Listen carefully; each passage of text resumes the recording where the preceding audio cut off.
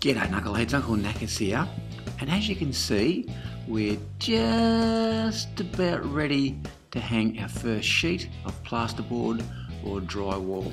But the first thing you need to do is to apply some Gyprock glue to those studs and then bang, there it is, our first sheet. Now you'll also notice that the boys are hanging the sheets from the top down and the reason for that is that we're square setting this room and we want a nice tight join against the ceiling. These walls are 3 metres high and as a result we need two horizontal joins.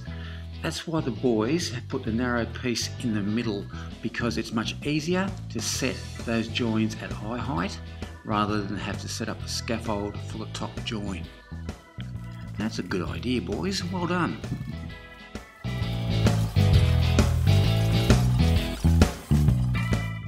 Now it's a good idea before you put down that bottom sheet that you lay down some packers. You can just use some gyprock offcuts and the reason for that is that the sheet sits on those packers which act as an expansion joint. You take the packers out after the sheet's been installed. You then put on your dobs of glue every 2 to 300 millimeters, starting 300 millimeters from the top and 300 millimeters from the bottom. And you don't put any glue on the end studs. Now with the glue that the boys are using, it's this stuff here.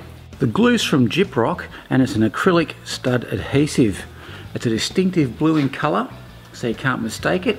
And it comes in tubes like this, so you can use it in a barrel gun, like you saw the boys doing, or you can get it in a tub and just put in a paint scraper or a spatula and apply it to your stud work. It's a great product, highly recommended. As I always say, do it once, but do it right. Here come the lads, got their first sheet. Putting it on top of those packers packers are there to cater for any movement down the track. And away they go. So they screw the top, the sides, and the bottom, but nothing in the middle of the sheet. You put a screw in the middle, it might pop down the track.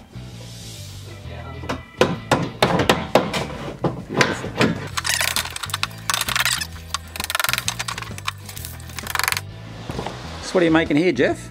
A Gyprock pencil. Gyprock pencil. Hey. Interesting. And that's for... Ah, oh, no, mate. No top plate. No top plate, so I've got to mark where the studs are. Oh. You're a genius, Jeff.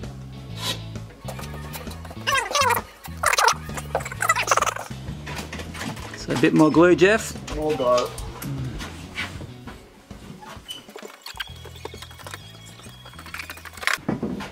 Come the boys. The big sheet, that'll go right across the door.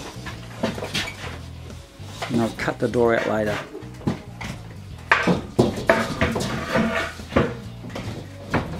Beautiful fit.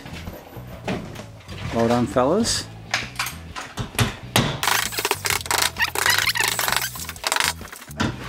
Now we don't have a top plate on this wall mainly hidden because we actually dropped the ceiling by 50 millimeters which meant that the top plate didn't come into play.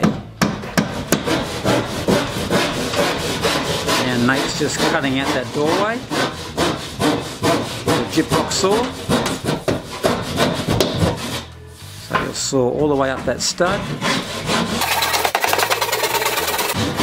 all the way to the head of that frame now you flick that sheet up when he's ready. And Jeff has snuck out the back and he's scoring the top of the sheet at door head height. Flick the sheet up, cut along the crease, and presto, there's the doorway opening. And then nail that sheet off around the stud.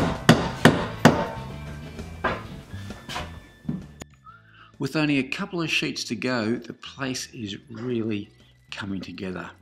It's looking good.